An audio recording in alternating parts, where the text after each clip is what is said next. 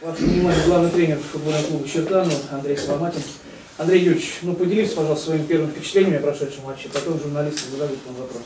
Ну, прежде всего, хотел бы Факел поздравить с победой, пожелать выйти в этом году в первую лигу. Приятно как бы вернуться сюда, немножко вспомнить. Народу, правда, ходил побольше. То, чтобы э, народу было больше на трибунах.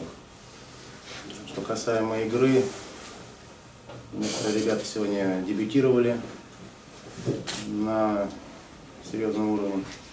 Ну, были как бы моменты, которые могли мы использовать. Ну, конечно,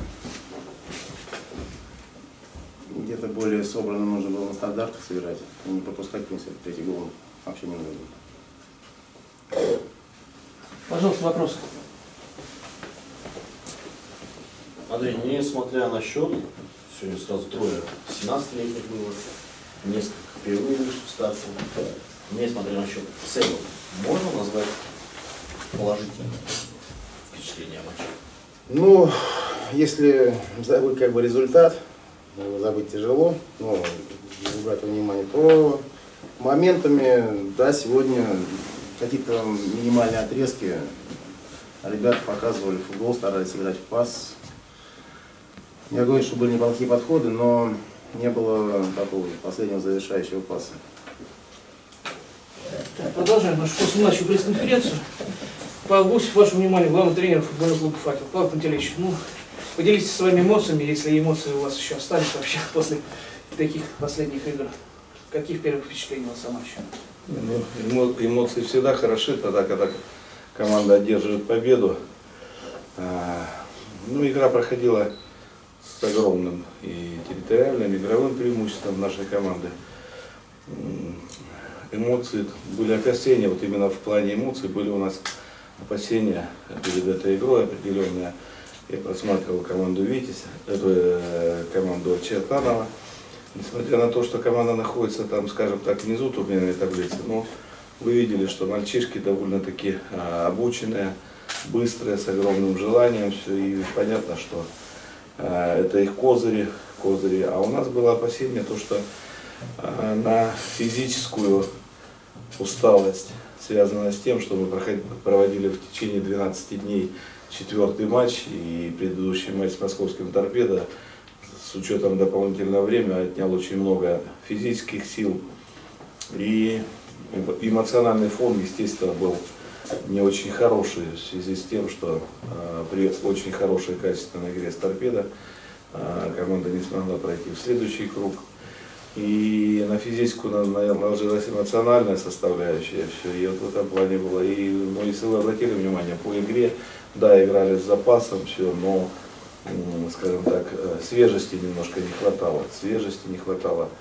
Был неплохой контроль мяча, все, но особенно в первом тайме э, медленно, много перепасов было в линии обороны. Мы планировали, чтобы убыстрить игру, но, к великому сожалению, не все удалось вот в связи с этими причинами, физическая, эмоциональная ну, усталость, скажем так. Ну, благо то, что выиграли, забили хорошие мячи, хорошие мячи. Первый мяч э, стандартно игранная ситуация, что Леша Ревякин долго мы ждали этого момента, забили мяч. Всё. И два мяча великолепно исполнил лучший богатырь наш Миша Бирюков. Второй, второй мяч, третий общий и второй его. Вообще великолепно на опережение головой. Здорово. Мог быть счет и более крупный забей. А, мяч, который должен был забивать заболотный в столе ворот. Ну, так я поздравляю ребят и благодарен им за отношение к игре, к болельщикам. Болельщики тоже сегодня, наверное, немножко благодарны очень мы им за поддержку с командой Торпеда и вообще за поддержку на протяжении всего сезона. Сегодня тоже чувствовалось, что после торпедовской игры кубковой все тоже где-то такого эмоционального заряда, может, и у болельщиков не было. Всё, Поэтому ну, причины на поверхности лежат. Андрей, сегодня вторым опорником вместо Дубровина э, к Бехетову Болонину вышел с первых минут, это с чем связано было? Что Связано с тем, Дубровин- что у Дубровина травма. Травма, да, это Да, у него травма, у него э, микронадрыв э, передней поверхности бедра, ну, ориентировочно по прогнозам медицинской службы нашей на восстановление уйдет 10-14 дней.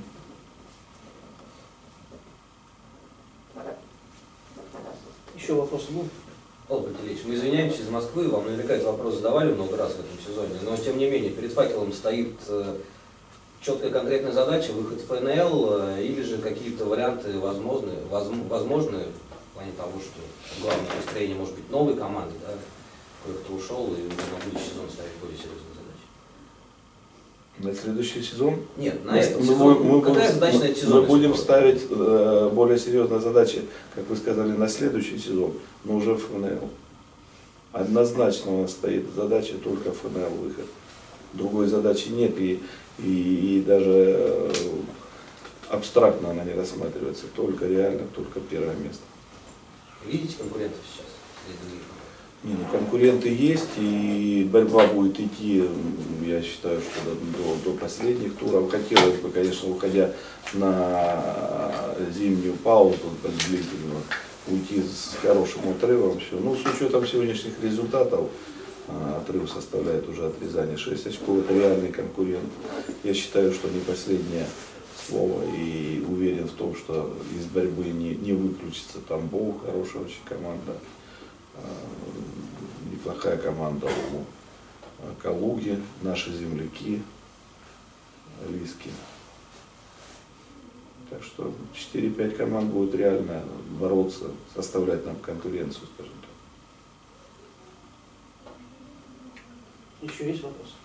Павел Пантелеич, все-таки, вы говорите, накопилась и физическая, и эмоциональная усталость, но тем не менее матч против аутсайдера, назовем так, команда составлена из совсем юных, футболистов, вы все равно выставили основной состав, по большому счету. Почему вы лидерам не дали отдохнуть?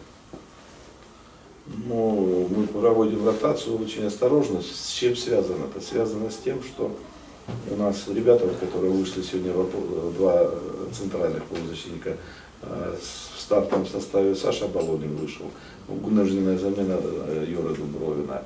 И во втором тайме вышел Киреев. Они очень долго, и один и второй, у них была у Киреева травма, у Головнина две подряд болезни, сначала вирусная, э, ветрянка, провел в стационаре очень много времени, потом второе отравление, там все, и поэтому восстанавливаются ребята.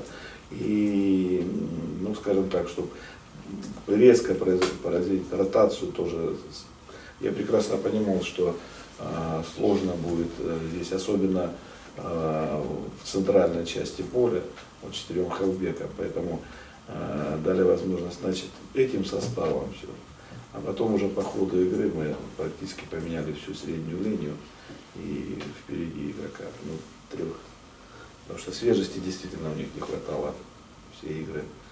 В графике я уже говорил, да, три на четвертый день сложно очень, очень сложно. С этим только связано. Ну еще такой вопрос, вы как много вообще знали о Чертаново?